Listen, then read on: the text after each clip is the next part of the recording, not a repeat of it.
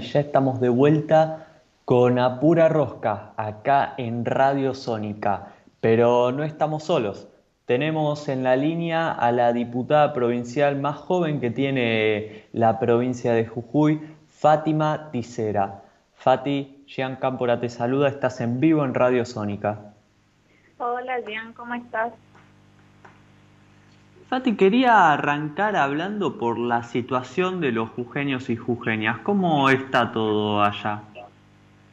Bueno, creo que después de haber afrontado una, un intento, ¿no? Porque todavía seguimos en pandemia, acá en Jujuy es como que estamos haciendo un post-pandemia, este, estamos intentando retomar de la mejor manera posible. Obviamente sabemos que ningún país este, mundialmente estuvo preparado para lo que ha sido la pandemia contra el COVID, pero bueno, creo que hemos tenido mayoritariamente todas las mismas afecciones, en especial la economía, el trabajo, y además creo que ha sido algo que ha golpeado muy fuerte y creo que el aspecto juvenil, el tema de la educación ha sido algo que totalmente fatal, ¿no? En nuestra provincia también, el tema de la conectividad, la desigualdad para muchos, este, también y ahora más que más que nunca, porque la vuelta a clases ha sido también acompañada del COVID, ha sido con suspensión de, de clases durante toda la semana, ha habido colegios que han estado cerrando, a no a no menos de una semana de haber este, vuelto a clases, así que creo que ha sido bastante fuerte la situación y bueno, creo que estamos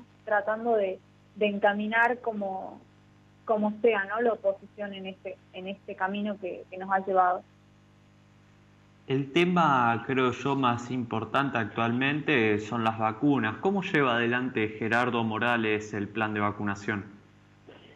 Bueno, el tema de la vacunación acá ha sido un problema bastante fuerte porque en las primeras semanas que llegaban vacunas nomás hemos tenido eh, diversos informes de, médicos y enfermeros, obviamente, que, prefirieron quedar en el anonimato por el hecho de el hostigamiento y la persecución política y también fuera de la política porque se consideraban médicos que solamente cumplían su rol con el hecho de denunciar eh, la falta de vacunas o el hecho de que no, no era transparente cuando se hacían las vacunaciones, que iban personas que ellos no conocían y que no pertenecían al sistema de salud, ni siquiera del mismo hospital en el que se tenían que ir a vacunar.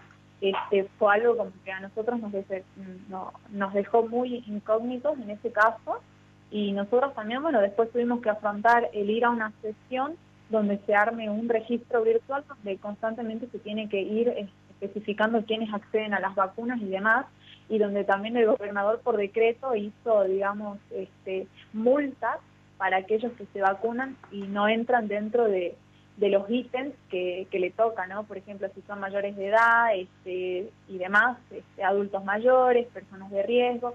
O sea, empezó a armar todo como, como una cadena, como la misma que armó al principio de la pandemia, que era que si ibas sin barbijo te multaban, que si no este, no ibas por el lado de la calle que te correspondía, también exactamente lo mismo, ahora está haciendo lo mismo, o sea, yo creo que son instrumentos que, que no han tenido ni siquiera una buena repercusión a nivel social, ¿no? El tema de la vacuna ha sido exactamente lo mismo, o sea, ya se han vacunado a aquellas personas que deseaban vacunarse en una primera instancia y que han sido los privilegiados de la vacunación VIP, y ahora este, después de eso obviamente se tuvo que, ver una forma de, poder salvar y sacó esto por decreto y nos llevó este, también a la legislatura que lo podamos gestionar.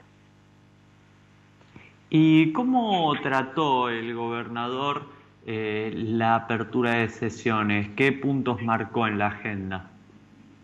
Bueno, o a ver, nosotros tenemos que esperar todavía este, cuándo va a ser la apertura de sesiones, pero eh, que tendría que ser el primero de abril específicamente.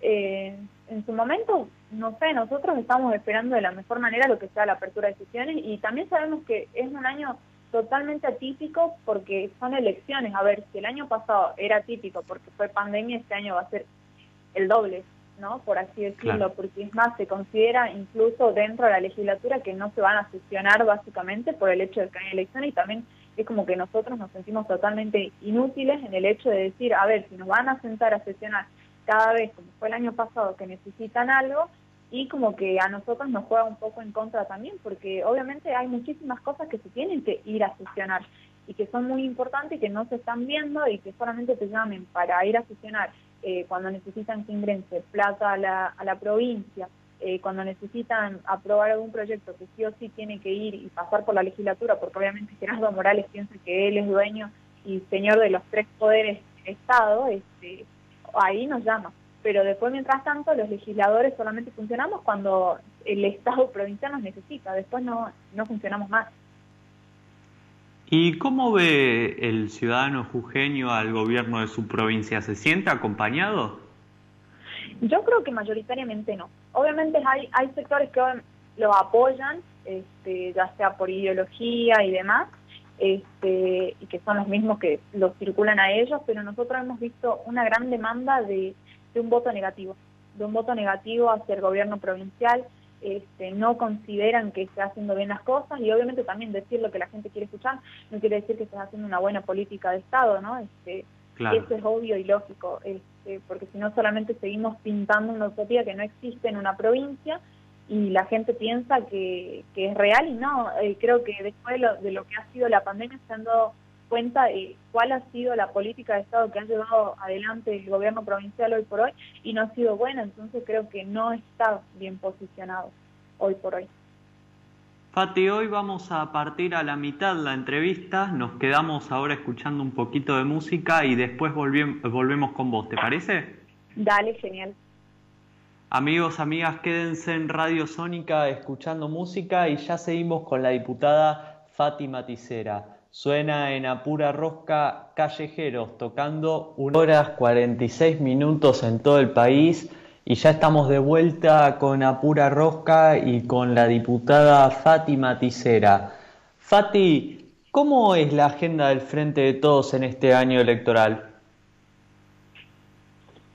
Este, bueno, a ver, acá este, está un poco como que difícil, la verdad, de manejar porque todavía no se han establecido fechas. Lamentablemente, ya hemos pasado el hecho de que Jujuy no coordina las mismas fechas que son las elecciones a nivel nacional, entonces como que eh, tenemos esa esa óptica electoral que también es que como que disiente lo que va nacionalmente lo que lo que sucede en la provincia, así que creo que nuestra agenda todavía no ha sido marcada porque tampoco se han sentado los distintos sectores del peronismo como que a ver cuál va a ser este este año nuestro proyecto electoral, pero pero bueno, por lo menos acá en la provincia se ha visto diversos espacios que, representan al peronismo, eh, no unificados en su momento, pero creo que, es tiempo y hora de que, se sienten ¿no? en este momento como que a dialogar y ver cuál, cuál va a ser nuestra posición.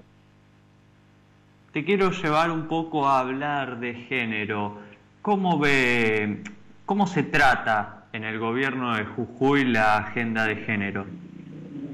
Eh, bueno, principalmente no hay. El año pasado nosotros tuvimos este eh, un hecho que, que arrasó nuestra provincia, que fue el hecho de haber tenido femicidios, eh, más de tres en, lo que ha sido una semana, y eso llevó, digamos, a que en la legislatura se fusionara lo que hoy por hoy se denomina la ley Yara, que fue una de las últimas víctimas de femicidio, este, donde una madre, obviamente, junto con otros padres que ahora se llaman este, víctimas del dolor, digamos, están constantemente eh, haciendo hincapié en eso y bueno, pecharon muchísimo porque la verdad si no hubiese sido eh, por eso no se sesionaba esta ley porque obviamente acá no existe lo que ha sido la diversidad en género, tenemos un consejo de la mujer que se sentó en la legislatura y básicamente nos presentó un PowerPoint vacío, porque esa es la realidad, exigiendo eh, un aumento de presupuesto, el cual tampoco esclarece de los años anteriores, entonces fue como que se vieron en la obligación de, hacerlo por la situación que se estaba pasando. Como digo, o sea, ver, cada vez que hay una situación que desfavorece al gobierno provincial, el gobierno provincial mágicamente saca un decreto que está a favor de lo que obviamente pudo haber, este, pudo haber asegurado de que no suceda en ese momento. Entonces, este, lo que fue género sucesionó el año pasado y, ahora, bueno, estamos a la espera de que se cumpla en su totalidad, pero no ha pasado porque iniciamos el año y también hemos tenido femicidios en la provincia, eh, también seguimos con el tema de las denuncias de género, eh, seguimos con el hecho de que todavía eh, vas a denunciar y no saben cómo tomarte una denuncia, seguimos con las capacitaciones de género, pero no son suficientes porque hay muchísimos espacios que están brindando capacitaciones de género y demás en los distintos barrios, en los distintos sectores, de distintas corrientes políticas, pero el hecho está de que no, no pasa por esa parte, pasa por el Estado. El Estado tiene que ser el que esté presente y el que tiene, tiene que dar eh, una respuesta. No tienen que ser las compañeras que salgan a la calle porque no es suficiente con la compañera. Siempre repetimos, la compañera no es policía, la compañera no es abogada, la compañera no es asistente social. Al que le corresponde es al Estado. La compañera acompaña, está en ese momento, ayuda, pero no es suficiente esa ayuda, ¿no? Y eso creo que lo sabemos. Es valorable este, el trabajo que hacen las compañeras en el territorio, pero también tiene que haber una respuesta que vaya en paralelo y que no la estamos viendo, obviamente. Hace muy poco se promulgó la ley del aborto legal, seguro y gratuito. Eh, continuando con la agenda de género, ¿cómo se vivió en el norte del país esta ley? Bueno, acá tenemos principalmente, creo que, una, una sociedad bastante conservadora y que cuesta muchísimo, obviamente, poder tratar diversos temas, ¿no? Incluso hablar de violencia de género ya es algo como que eh, asombra y en muchos lugares llega como que a molestar también este, pero bueno, acá por lo menos se hizo una jornada donde se donde participaron diversos espacios, este, acompañando y demás, pero este, como que poder instalar el tema y explicarlo fuera de lo que se pueda llegar a creer, porque obviamente pasa también desde una ignorancia de no saber qué es lo que lo que transmite el mensaje, ¿no? Y se nos ha costado mucho, creo yo. Y instalar el tema hoy por hoy para que no, o sea, no pasa por un debate, sino pasa ya directamente por una situación que lleva a, lo personal y a la pelea, ¿no? Este, no, no, no, no hay eso, la verdad, en esta provincia todavía. Pero bueno, creo que es un trayecto bastante largo y es una deconstrucción que lleva tiempo, porque también instalar diversos temas que hoy por hoy son de interés público llevan su tiempo y también es como que hay que aprender a respetarlos. Te quiero llevar a hablar un poco de juventud. Fati, ¿vos cuántos años tenés? Yo tengo 23 años este, y bueno, soy, soy la legisladora más joven que hay en la provincia por el momento. 23 años. ¿Las juventudes jujeñas se sienten identificados eh, con figuras como vos? Yo creo que sí. En realidad lo que pasa es que yo siempre digo, o sea, no es la persona la que está, sino lo que se representa. Creo que nosotros nunca hemos tenido alguien tan joven eh, que pueda representar lo que hoy por hoy nosotros estamos sintiendo como falencias en la sociedad, ¿no? Este, Nos ha pasado que hay personas que levantan una bandera de juventud y no por menospreciar la edad, pero tienen como 40, 50 años y capaz que no le entienden, porque es real, o sea, no entienden lo que nosotros estamos pasando. Y muchas veces nosotros también en nuestra misma edad nos cuesta por ahí como que terminar de entender qué son las cosas que, que pasan a nuestro alrededor entonces también está bueno eso de poder sentarse con alguien de tu edad y, conversar y charlar y ver qué es lo que, lo que podemos buscar juntos como solución. Cosa que tal vez a mí me pasa también y me siento con mis compañeros en la legislatura y, siento que no me entienden, ¿no? Siento que como que vamos en distintas sintonías y es obvio, eh, tenemos distintas edades, distintos pensamientos, capaz que yo le caigo eh, con una bandera eh, para charlar justamente como esto, ¿no? Este, hablamos sobre el tema del cupo laboral trans, hablamos de violencia de género, hablamos de diversas cosas y eso como que están en, otra cosa. Este, Están pensando en, en otros proyectos, en otro tipo de cosas que ellos capaz que la ven mucho más relevante de lo que lo veo yo. Y obviamente yo me pongo a charlar con personas de mi edad y no vemos este, a la misma altura las mismas situaciones. Entonces este, me pasa mucho eso también. Se entiende más identificado obviamente con todos los que son este, más cercanos a mi edad y que tal vez nosotros generamos mucha más empatía de lo que generan las edades más avanzadas, ¿no? Este, capaz que nosotros sí tenemos como que un acercamiento mucho más continuo a lo que es este, la gente en sí y que puede venir a sentarse cualquier persona de cualquier edad y se siente mucho más contenida que otras personas que tal vez tienen como que una mirada más fría y más dura al respecto de poder escuchar las problemáticas sociales que sufrimos en nuestra provincia. A mí la verdad que me ha pasado ir a todos los lugares y sentirme totalmente acompañada y con diversas este, personas de distintas edades, ¿no? Y eso es lo que a mí más me gusta, digamos, el hecho de poder este, acercarme a la gente y no tener esa, mirada mala que tienen sobre la política, porque yo siempre digo, o sea, nosotros estamos para poder dar soluciones y poder gestionar mejoras en la sociedad.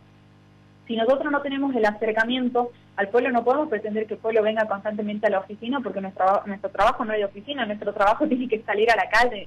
Este, nosotros tenemos que salir a buscar qué es lo que está pasando, no ellos venir a nosotros y plantearnos. Sí, pueden venir, plantearlo también, pero no siempre va a pasar eso, no siempre es la comodidad de estar adentro y atrás del escritorio.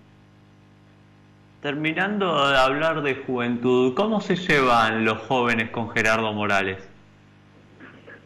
Y bueno, tenemos un sector este, propio de lo que es la, la UCR, la Juventud Radical, que, que lo apoya.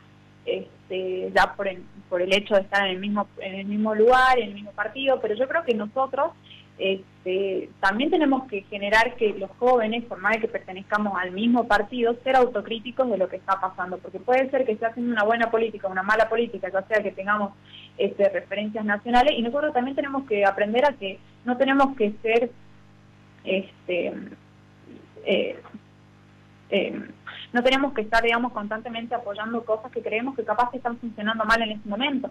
Entonces, también es algo que, creo que nosotros nos generamos desde el propio peronismo, porque a veces nosotros nos cuestionamos como que un poco tal vez las cosas que están pasando. Yo por el momento no he visto esa, esa misma reacción tal vez en distintas cosas que han funcionado mal en, estos cuatro años de gobierno y en, los dos que siguen ahora del segundo mandato de Morales, pero pero bueno, creo que es momento de que la juventud tal vez eh, sea más rebelde, ¿no? Es lo que a nosotros nos identifica, ser rebelde. Sea transgresora, como decía Néstor. Sí, y no, y no ser obsecuentes, digamos, de que por el hecho de que estamos al mismo sector, nos tenemos que apoyar al 100%, porque tal vez nuestros compañeros están haciendo las cosas mal. Entonces, este, eso declina a que nosotros tengamos tal vez un poco más de autocrítica de lo que está funcionando y lo que no está funcionando, y tal vez lo que a nosotros nos lleva como ideología eh, a mejorar ¿no? un poco más lo que es la sociedad jujeña pero bueno, este, nos ha pasado que tenemos los jóvenes, obviamente, que se sienten fuera del sector político y que también se sienten eh, identificados con algunas ideas y otras no, pero salen y lo pueden plantear y se lo replantean una, dos, tres veces y aún así este, vemos que hay una juventud que, que está un poco más elevada en el tema de lo que es cuestionar los temas de la agenda política ¿no? actualmente. Fati, clarísimo. Muchas gracias por la comunicación. Bueno, no, muchísimas gracias a vos por el espacio y cuando quieras estamos para seguir charlando. Fuerte abrazo. Amigos, amigas, esa fue la diputada por la provincia de Jujuy, Fátima Ticera.